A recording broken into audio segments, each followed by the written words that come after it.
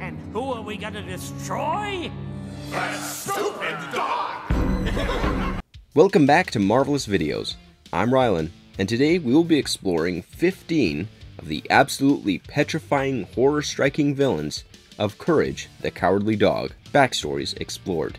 To determine a show by its genre is to follow a set of guidelines, while uniquely fitting into its mold, and Courage the Cowardly Dog happens to be a masterpiece in subversion.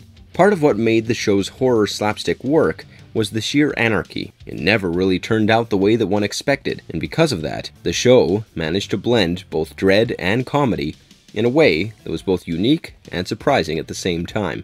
Initially created as a 7 minute animated short film known as The Chicken from Outer Space, creator John R. Dilworth first introduced the character of Courage back in February of 1996. No wonder the segment was nominated for an Academy Award for Best Animated Short Film and eventually caught the attention of Cartoon Network. The show was given a green light, and it went on to become the exceedingly popular comedy horror TV series spanning over four seasons and generating 52 exciting animated episodes. Look, Courage, I'm a supermodel. During its run from 1999 to 2002, the series received abundant recognition. It secured three Golden Reel Awards and was also the recipient of an Annie Award for Outstanding Individual Achievement for production design in an animated television production in 2000. The series, which was principally known for its dark, surreal humor and atmosphere, revolved around the anthropomorphic dog, living with an elderly couple in a farmhouse in the middle of the town of Nowhere in Illinois. Dilworth also acknowledged the surrealist painter Salvador Dali as a source of inspiration in his work. We believe that it's solely how subversive the visual horror gets that made this show memorable, driving not just kids, but also young adults into investing themselves in the show. We are particularly going to stress on the villains of this series in today's video, shedding light on 15 of the most petrifying, horror striking villains and their backstories explored. Before we go into today's analysis, we have a very small request. If you like our content, please support us by subscribing to our channel. This is just a small step for you, but for us, it definitely means a lot. Thanks. Now, on with the video. Welcome to Katz Candy. I'm Katz. Number 1. Katz. To every soul that grew up watching Courage the Cowardly Dog, you cannot possibly forget this iconic villain. The lanky red cat with purple highlights is mostly remembered for his spiteful sadistic maneuvers and the fact that he's the one true arch nemesis of Courage. Having appeared in every season, this character had his own theme song that played in the background whenever he was around. There's no place to run, and no place to hide. The Master of Disguise also dresses up, according to the scam that he's plotting. This could be at a vacation resort, confectionery shop, a motel, or even a submarine cruise line. His sinister and deceptive behavior has him hold absolutely no regard for the lives of others. It would not be wrong to address him as a thorough psychopath. Katz made his debut in the first episode of the first season, entitled A Night at the Katz Motel, where it is shown that he often kills his clients, or should we say, feeds the customers of the Katz Motel to his giant pet spiders.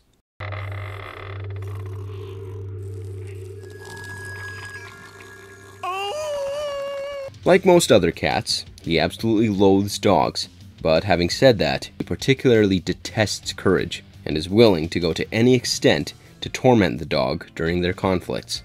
His character is even shown to indulge in some pre defeat sport with Courage. The first episode has him challenging Courage to an energetic game of racquetball, a game that Katz effortlessly plays while reading a book on spiders and enjoying a cup of tea simultaneously. In his second appearance, Katz is shown to run the exclusive Club Katz on an island where Eustace, Muriel, and Courage wash ashore post their luxury cruise going awry. He eventually takes the old couple to the spa, where dogs are not allowed for obvious reasons. I'm sorry. No dogs allowed. Resort rules, I'm afraid. The duo get transformed into a washing machine and a wrecking ball, each matching their respective personalities. Katz has them pit against each other in an abandoned coliseum to fight to the death for his own entertainment. Oh, I love a good family brawl. The character, in his Mr. Katz disguise, dons a crisp, white button down shirt featuring pockets, a pocket square boutonniere, and a white tie. He is also seen wearing a light blue shirt inside. He has notably different attires complementary to the temporary businesses that he specializes in every episode. In Katz Candy, his character goes to unthinkable limits at the thought of losing to Muriel and coming second once more in the annual Nowhere Street Stuff contest. So much so that he ends up abducting both Muriel and Courage to force them into revealing the secret ingredient in her recipe which is eventually disclosed to be vinegar. Of course, he is devastated when he has to settle for second place yet again. That's not all for Katz. He made further appearances in episodes called Katz Under the Sea in the third season and Ball of Revenge in the fourth season. While in the former episode, he manifests as the captain of the SUB Standard Cruise submarine. The latter episode has him teaming up with the other villains, namely Le Quack, Weremole, Cajun Fox, Giant Foot, Black Puddle Queen, and the jealous Eustace to get rid of Courage once and for all, exacting his revenge. There is no denying that his character is absolutely evil. His civilized and well mannered act easily makes him a villain capable of sending chills down the audience's spine every time. In fact, he holds the seventh rank in the top 10 greatest Cartoon Network villains of all time by WatchMojo. I am the amazing Mondo. Then show me something amazing. Number 2. The Amazing Mondo. At first glance, he looks like a human magician, at most, a mysterious one. Some would even say that he resembles the Star Wars character Lando Calrissian. Mondo is disclosed to be a rather ugly character that wore a human costume to keep his secret identity intact. Say hello to this demonic magician who is the main antagonist in the episode Mondo Magic. I am now a head of letters. The episode starts with a mysterious magician observing Muriel. Soon, a knock is heard on the door, and Courage opens it to find a present there. As he unwraps the gift, he pulls out a top hat and a wand and plays pretend magician, making a posy of flowers appear. Oh As Courage grabs a chest from the box and opens it, a magician materializes out of thin air. This impresses Muriel, and she claims that this was the best trick that she had ever seen. The magician discloses himself to be the amazing Mondo, adding that he doesn't do tricks. Instead, he performs magic. I don't do tricks, I do magic. This does not satisfy Eustace, who wishes to see something as amazing as Mondo's name. The magician uses a bag of magic dust, makes creatures such as giraffes, tigers, and doves appear. As Eustace still doubts Mondo's ability, the latter entraps him in a television. Where am I? Hey, I'm in the TV. The magician next places a cloth over Muriel's head and sprinkles some magic dust over her. Pulling off the sheet, Muriel at first glance looks like her normal self, but soon she has two slug like eyes poking out from behind her glasses. Of course, Courage screams in terror and literally begs Mondo to turn Muriel back to her previous self. But according to the magician, Show's over, kid. right after this, Courage realizes who he's dealing with. The canine tries to stop the magician in vain, biting his cape and in the process revealing Mondo's true form. We are looking at a green, spiked, shelled monster with slug like eyes. Mondo's actual plans are unveiled. All he wanted was to turn Muriel into a similar creature and make her his bride. A noteworthy point is that this villain simply doesn't let anyone come in the way of executing his plans to perfection. For instance, he does not spare Mr. Vindaloo, and he transforms the doctor's head into lettuce. Scary, right? Well, it's pretty hard to disregard a villain like Mondo, especially when one has an eyeball scorpion stinger protruding from his tail. Also, with razor sharp teeth like that, does anyone really stand a chance?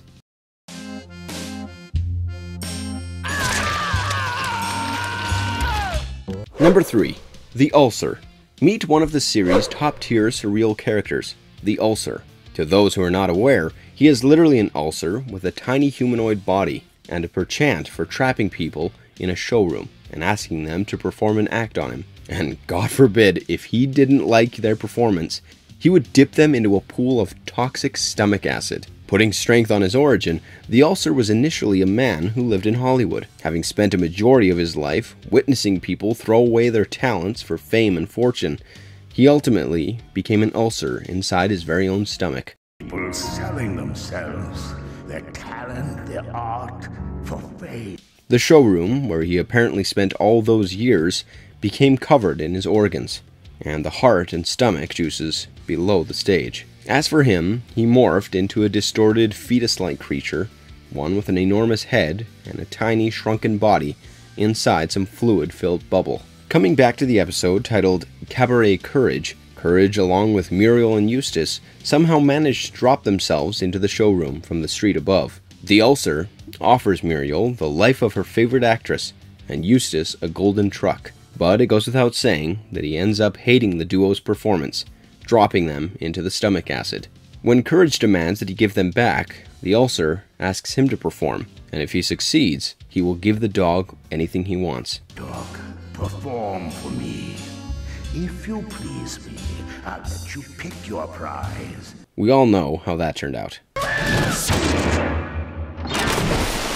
Guess it would not be wrong to say that the ulcer is more like an exemplified version of the literal growing ulcer in his own body. Everything from the anomalous movements of the body parts, the constant references to the living bile infested flesh, and the giant size of it all only makes this character genuinely scary to look at, but also one of the most terrifying villains of the series.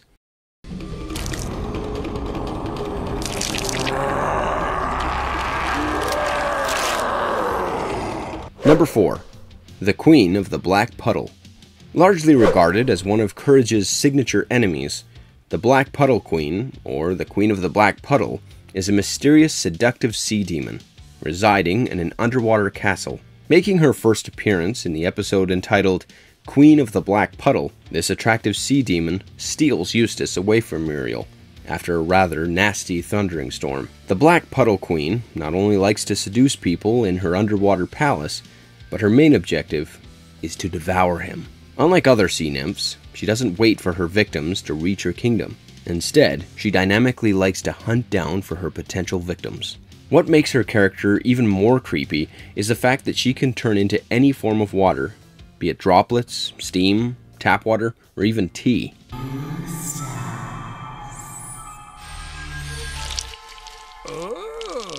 This leads to augmented possibilities of her being able to lure people from literally any part of the world. Wondering why she is known as the Puddle Queen? Well, the underwater entity is adept to putting a spell on her victims, leading them close enough to puddles and then trapping them inside her underwater lair. That's not all. Once she takes her victims back to her underwater castle, she puts up a rather ritualistic, seductive dance for them. Let's not miss out on the way she dresses up her prey with necklaces made out of shells.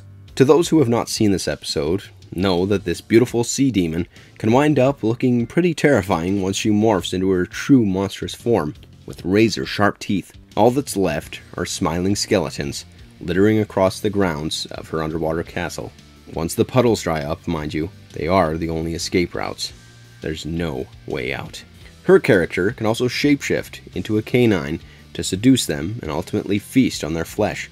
There's no denying that she is quite sadistic. Right before she gears herself up to relish Eustace, she wears this wicked grin on her face. Mark our words, that particular imagery, along with her dialogue, can still make your blood run cold after 21 long years. While Courage is eventually able to save the day, the Black Puddle Queen appears in several other episodes, and she is easily one of the most recurring villains.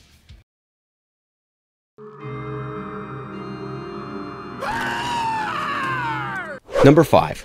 The Spirit of the Harvest Moon. How does the image of a huge white floating human like head with black eye sockets, black lips, and a white nose sound to you? Pretty dreadful, right? Now think of all the times when this enormous visual haunted the dreams of not only children, but also young adults. The reason was a petty one. This demonic spirit was upset with the Bagge for disrespecting their farmland, and by never giving an offering on the night of the harvest moon. This drove the demonic spirit to such heights of rage and irritation that he casted a spell on the whole farm, generating all kinds of bizarre events and threatening them to leave their house unless they somehow managed to grow a plant in 10 minutes. We kid you not. You have until midnight to grow something. And if you If you thought that's all, we urge you to think again. Once the time limit of 10 minutes was up, the spirit raised the temperature to extreme levels, causing everything around to melt. Thanks to Courage being able to grow a plant using Eustace's sweat, yes, you heard that right, the spirit brought down the temperature to normal and left a rather cryptic yet meaningful message about how they need to grow more than just one plant. you have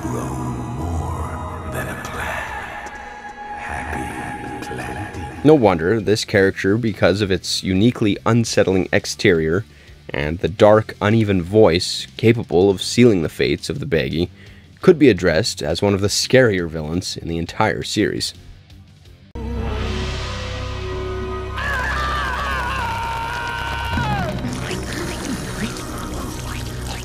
Number 6. Evil Weevil.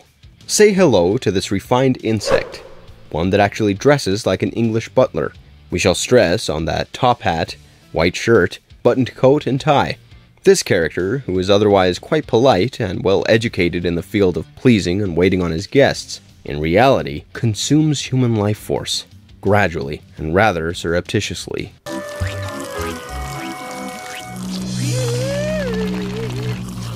Despite this, the evil weevil is also an expert when it comes to eating the most nauseating food, like an old rancid boiled broccoli. Oh, just the thought of it can make one puke their guts out. Featured in the episode Evil Weevil, the storyline begins with Eustace inadvertently running over a giant human sized weevil while driving his truck. As a way of asking for forgiveness, Muriel invites the insect to dinner, oblivious to the fact that she has invited trouble, and in this case, a blood sucking parasite, into their very home. The episode boasts quite a few scenes showing how sly and evil the Weevil actually is. There's a scene where the Evil is giving Eustace a shoulder massage, and simultaneously using his tongue to drink from his prey. And that's not all.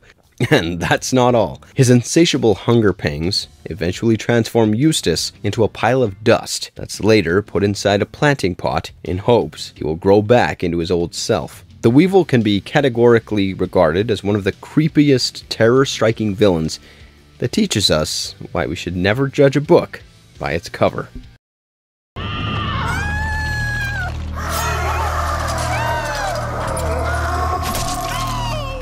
Number 7. The Windmill Vandals. The Windmill Vandals are a team of four horsebacked vandals who used to torment the land of nowhere. Farmer Giles Gillette, who not only constructed but also lived in the farmhouse some 250 years ago, had built the windmill next to the farmhouse. He had inscribed each blade with mystical rune symbols, and they spun to keep the vandals at bay. So you can imagine what happened when the windmill stopped spinning. Windmill ever stops turning, the Vandals will rise from the dead. Appearing in the self titled episode, the ghosts of the Vandals not only attempted to destroy the farmhouse, but also its current inhabitants, especially after the windmill stops. Although Courage, along with Eustace, try to repair the windmill and manage to make the Vandals disappear for a brief period, they keep coming back as soon as the windmill breaks down once again. The way that the show has resorted to more traditional sorts of curses made the fright feel even more real and haunting. We are talking about all things supernatural and build up suspense of the undead. The Vandals dedicate their lives and afterlives to destroying the windmill, along with the inhabitants of the farmhouse, making this episode incredibly tense. The Vandals definitely deserve a mention for sincerely being one of the most powerful villains to have ever been featured on this series. My name is Mustafa Al-Bacterius. I am inside the brain of Muriel. I have come. Number 8. Mustafa al Bacterius.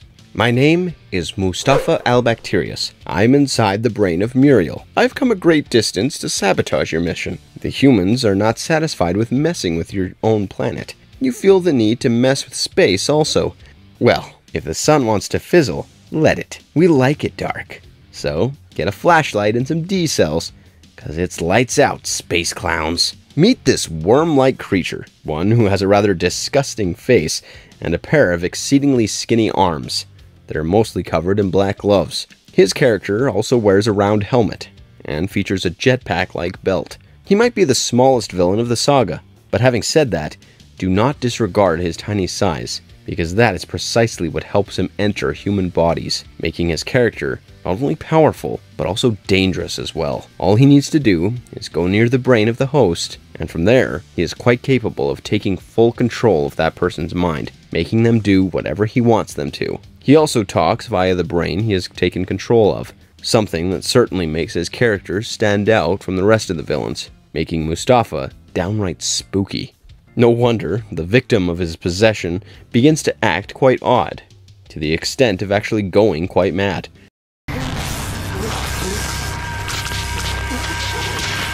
Mind you, the last thing you'd want Mustafa to do is tamper with the brain of the host, and in the process, make the victim not only aggressive, but also insane. Getting rid of this yellowish brown alien worm can be quite the task. After all, he is very stubborn. When it takes control of Muriel's nervous system in the episode entitled Mission to Space, he makes her do a number of ludicrous things. Muriel beats up Eustace, speaks gibberish, and also cuts Eustace's line when the latter is outside the spacecraft trying to get his hat back from the space toilet. He also fights Courage, who tries endless methods to extract him out of Muriel's brain. Mustafa's sole mission was to punish humanity for messing with their own planet and to stop the destruction from spreading into the galaxy. Also, just like his dark nature, this race apparently liked all things dark. While it's true that when Muriel is ultimately flung headfirst into the ship's toilet, Mustafa is sucked out of her head, eventually flying into space, but not before taking control of Eustace, revealing that it is now inside his head. Mister? Actually, it's Doctor. Dr. Gerbil. But my friends call me Lulu May. Number 9. Doc Gerbil. Science, my friends, science! Well, who does not remember this mad scientist posing as a vacuum cleaning doctor, sucking up both Muriel and Eustace, and letting Courage know that he was finally free of all the torment inflicted on him by his owners? You're free now. Finally free. Doc Gerbil, as a developer of a variety of foods and cosmetics, believed in animal freedom, and even went to great extents to perform experiments on his human subjects. This brings us to what happened to Muriel and Eustace, post getting sucked into the vacuum cleaner. The nefarious doctor puts them through an assortment of trial tests, as acts of retribution on humans for exploiting animals. It goes without saying that the old couple was subjected to numerous grotesque experiments. If only his character did nothing more and left courage in peace. But when does that ever happen? Doc Gerbil was shown chasing the dog in a water boat next, before falling off a waterfall and meeting his impending doom, although it was later disclosed that his character was very much alive. Agreed that he might be on the side of the more comical villains of the series, but there's still no denying that he was quite freaky and frightening at the same time.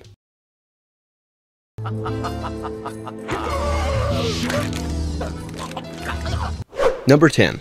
King of Flan. Say hello to the King of Flan. He looks more like an obese short man, featuring bright red hair, an oblong head, dark eyelids, thin limbs, and even uncrooked teeth. He is always seen with a broad smile. His sartorial sense certainly deserves a mention. He sports an olive shirt and a checkered vest in shades of purple and pink, a matching bow tie, and a pair of bright red pants with black shoes. He is the proprietor of a company that makes flan and uses hypnotism to lure in customers, all of whom become morbidly obese after consuming too much of the flan. Both Muriel and Eustace were put under his hypnotic spell. The duo crosses many boundaries, like raiding a supermarket and even stealing a flan delivery truck. So, it could not come as any surprise when we tell you that the King of Flan was utterly evil by nature. Flan will destroy you. In fact, the manner in which he spoke, that particularly calm, hypnotizing, soft, hushed tones, especially while putting his victims in a state of trance, makes his character genuinely creepy. Also, the fact that he never ever seems to lose his temper, and that freakishly wide smile never leaves his face, makes him all the more dangerous and quite a memorable villain in the series, if you ask us.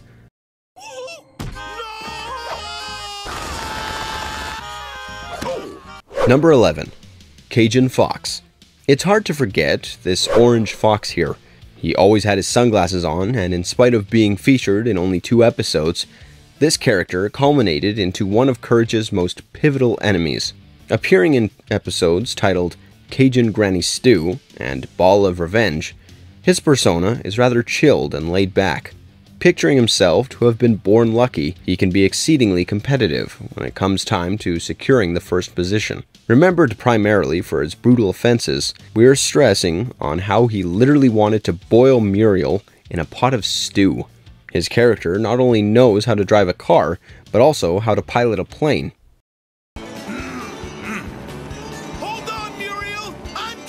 Cajun Fox makes his second appearance in Ball of Revenge, along with Katz, Le Quack, Weremole, Giant Foot, and the Black Puddle Queen to get his much awaited revenge on Courage. We are taking a leap into guessing that the scene where Muriel was hung over a boiling pot was his brainchild. After all, he was still mad about being cooked alive, quite literally. He went after Courage in the dodgeball game by catapulting burning hot Cajun pierogi right into his mouth. His hatred was such that the Cajun fox was even ready for an oversized butcher knife to finish Courage once and for all.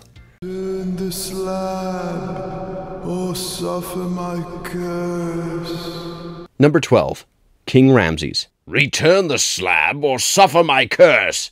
This dialogue of King Ramses alone was enough to instill fear inside every viewer, and it would be fair to say that more than the storyline, it was the personality of King Ramses that was unsettling, spooky, and inevitably one of the highlights of the whole series. Widely recognized as one of the best and creepiest episodes of Courage the Cowardly Dog, the story begins with Courage stumbling across an ancient stone tablet that he takes back to the farmhouse. Eustace, after discovering its incredible worth, simply refuses to return it, thus incurring the wrath of an ancient pharaoh who sends three nasty plagues on the family's way. By three plagues. Speaking of appearances, King Ramses was developed with the help of a CGI image of a flowing, mystifying figure in the middle of nowhere. That did the trick. Add to that an echoing voice, a dilapidated skeletal look, and burnt tangerine hair protruding from the skull gave the viewers goosebumps. Consequently, his constant appearance from a distance built up the tension, taking the whole episode notches higher. Everything about this character is what one likes to call a blend of variety of visual dreads, conclusively making him one of the most petrifying, horror striking villains of the series.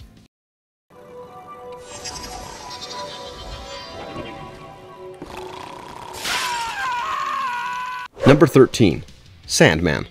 Also known as the King of Sleep, Sandman dwells in a tall castle, one that is seemingly made out of sand, in the middle of the woods. In a pointless attempt to go to sleep, his character is seen counting sheep indefinitely. 632,498. From donning a purple pointed hat, a black eye mask, a pink jumpsuit, a pair of purple curly toed shoes, and a black cloak, Sandman flaunts his purple skin, pointed ears in the episode entitled The Sandman Sleeps. Focusing on the episode, it is here that his character becomes very enraged because he cannot sleep. Later, when he gets to hear Muriel snoring away in glory, he comes all the way to the farmhouse to steal the magical sand that lets her sleep. This reverses the roles, and Sandman actually gets to sleep, and Muriel ends up spending numerous sleepless nights. She is drained and exhausted to the extent of even losing her grip on reality. One night, while taking her on a drive to try and help her get some sleep, Courage chances upon the Sandman snoring. He enters his castle to try and retrieve back Muriel's sand, but the Sandman wakes up and simply refuses to give back what he has taken. Sorry, I'm not giving it back. It is only after Courage discovers Sandman's lost teddy bear that he gives Courage back the sleeping sand, restoring Muriel back to her normal self and sleeping schedule. Do watch out for the Sandman here, who is not only selfish, but also quite the unusual villain that the show had to offer.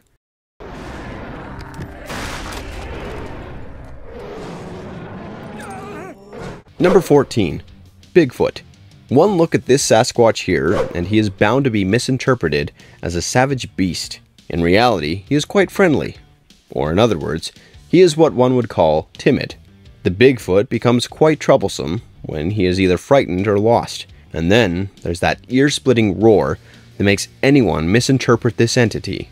Appearing in the episode titled Courage Meets Bigfoot, his character makes way into nowhere after he decides to play outside the limits of his backyard, much against his mother's wishes. He was first spotted by Courage while rummaging through food in the garbage cans of the Bagges. Holding the raccoons responsible for the mess created outside, Muriel initially does not take things seriously, but we all know how the mind of Courage works, and he soon meets up with the creature face to face, while the latter was trying to steal a homemade pie that Muriel had kept on the windowsill. The next morning, news regarding Bigfoot on the loose, terrorizing nowhere, was reported, along with price money for its capture. Certain elements, like the giant footprint of the creature, or say Bigfoot ravaging and growling at the mob, do make things exciting, giving the impression that Bigfoot was in every manner threatening, but then again, with scenes like the food fight, where both the creature and Courage end up dancing together, can literally have one rolling on the floor laughing. It goes without saying that Bigfoot was much less of a villain and more inclined towards the misunderstood side, one who looked quite intimidating, but in reality was not.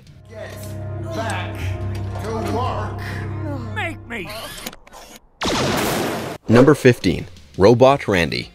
Addressing himself as the most powerful robot in the universe and donning a face of superiority, Robot Randy eventually found himself to be an object of mockery, especially in a society jam packed with violent robots. Post an intense letdown in the explosion department, he was sent to take over Earth to gain back his lost honor, absolutely determined to prove to his clan of robots that he was anything but a failure. Randy ended up taking over the Bagge residency, enslaving Muriel, Eustace, as well as Courage.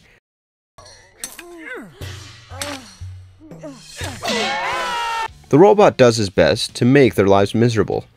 In fact, even compels them to erect statues of him.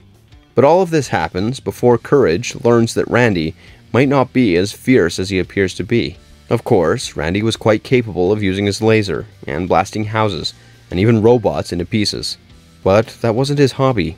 He was more like a secret whittler, a rather incredible one, specializing in reindeer sculptures. And that's not all. His character can also breakdance. However, he just cannot tolerate insults. The scene where he easily blasts a robot after it is unimpressed with his work and asks him if he can make something else makes his character slide over to the villain's side. Do watch out for Robot Randy, who might not be an actual baddie, but this does qualify him as quite remarkable on our list. If you enjoyed today's video, don't forget to send a like and subscribe to our channel if you haven't already. For Marvelous Videos, I'm Rylan. Have a good one and be safe.